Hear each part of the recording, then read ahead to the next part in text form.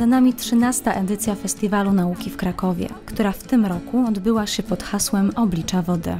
Najciekawsze sekrety nauki uczestnikom festiwalu przedstawiał m.in. Uniwersytet Jagielloński. Sporo atrakcji przygotował Instytut Fizyki.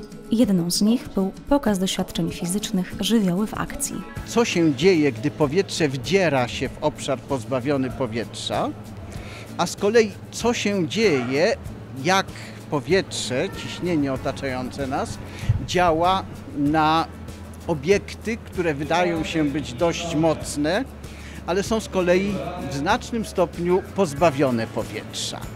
Fizyka, która dla wielu jest najtrudniejszą dziedziną nauki, dzięki zaprezentowanym eksperymentom okazała się całkowicie przystępna.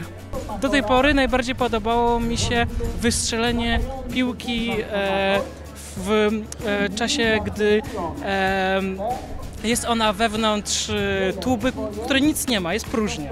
Publiczne doświadczenia fizyczne mają swoją długą historię. Te eksperymenty z połowy mniej więcej XVII wieku dały pewien trwający pewnie około 200 lat, może dłużej, wracający teraz tradycję czy zwyczaj publicznego demonstrowania praw fizyki. To jest okres narodzin fizyki jako nauki i, i bardzo często właśnie takie bardzo zaskakujące eksperymenty były prowadzone publicznie, co znowu z wielu względów na początku XXI wraca przy okazji chociażby festiwali.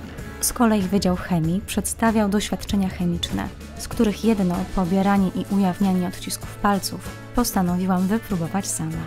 Na początek musisz e, zostawić swoje odciski palców, żeby potem sama je ujawnić.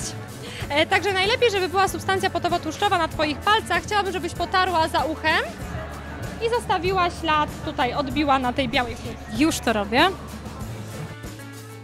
A co dalej? Za pomocą posuwistego ruchu specjalną szpatułką z magnezem uzyskujemy odbitki linii papilarnych. Dużą popularnością cieszyła się nauka pisma japońskiego oferowana przez Wydział Filologiczny. Pisma japońskiego tak naprawdę uczymy się przez całe życie, ponieważ e, jest bardzo dużo złożeń, które zawierają znaki e, historyczne, które nie są już używane, ale zawsze może gdzieś się tam pojawić. Ale teoretycznie trzeba znać 2000 i to jest takie, jak nam powiedział wykładowca, to jest takie minimum, żeby się bardzo dobrze e, posługiwać językiem. Chociaż do na przykład przeczytania gazety wystarczy 1000 znaków. W zupełnie niestandardowy sposób zaprezentowali się studenci Wydziału Filozoficznego Uniwersytetu Jagiellońskiego. W ich ofercie znalazły się łamańce filozoficzne, paradoksy, łamigłówki, zagadki, etyczne konwersacje i wiele innych atrakcji. mamy y, percepcje i złudzenia różne percepcyjne. E, oprócz tego psychotesty, jakim filozofem jesteś, może, może kogoś zainteresuje, może e, komuś podpowie jak żyć.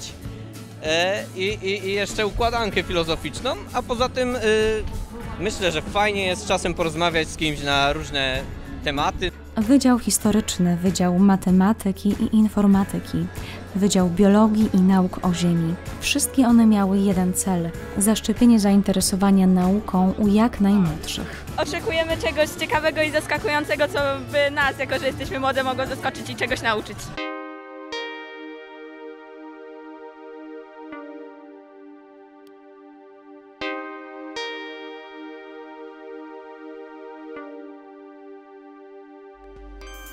Oprócz stanowisk na rynku głównym, UJ umożliwił uczestnikom festiwalu zwiedzanie różnych obiektów mu przynależnych, w tym obserwatorium astronomicznego. O tym, czego możemy dowiedzieć się obserwując niebo, mówił doktorant Bartłomiej Dębski. Przez ostatnie kilkanaście lat e, astronomia optyczna zrobiła prawdziwą furorę, wysyłając e, teleskopy w kosmos, jak chociażby e, kosmiczne obserwatorium Keplera.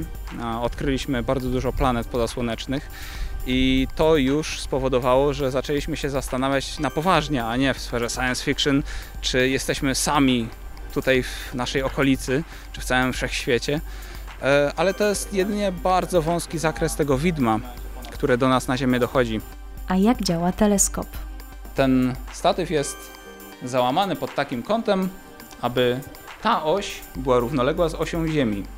Dzięki temu teleskop może się kręcić sam, dzięki tym silnikom, e, za ruchem, pozornym ruchem gwiazd po niebie. Obserwatorium Astronomiczne UJ cieszy się dużą popularnością wśród studentów. Mogą oni swobodnie korzystać z jego zaplecza. Jeśli chcemy na przykład coś obserwować, mamy w kole naukowym sekcje obserwacyjne. Jest sekcja z radioastronomii i też sekcja obserwacyjna na teleskopach optycznych. Bardzo miło się tutaj czas spędza, jest bardzo miła atmosfera i chce się tu wracać i uczyć A my z 14. edycją Festiwalu Nauki wracamy za rok.